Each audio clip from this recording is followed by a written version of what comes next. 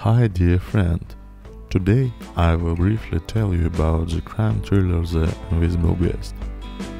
The Invisible Guest 2016 crime thriller Oriol Paulo. The Invisible Guest is a 2016 Spanish mystery thriller directed by Oriol Paulo. It was released in Spain in 2017-16. Although the film was poorly received by critics, it was a commercial success and budgeting $4 million. The Invisible Guest produced three remakes in different languages. Spanish businessman Adriandria is out on bail after being arrested for the murder of his lover, Laura Vidal.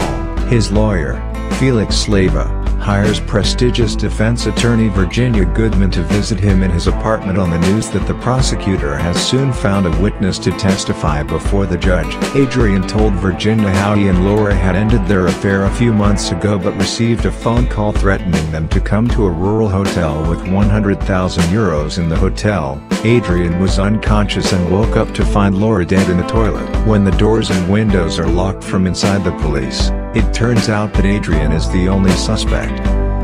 Then Adrian tells further back how he claimed to be in Paris, but was really in the cabin with Laura. As they drive back to Barcelona, Adrian swerves to avoid the deer, clipping another car, which hits the tree. They're unharmed. Thank you for subscribe. Have a nice day.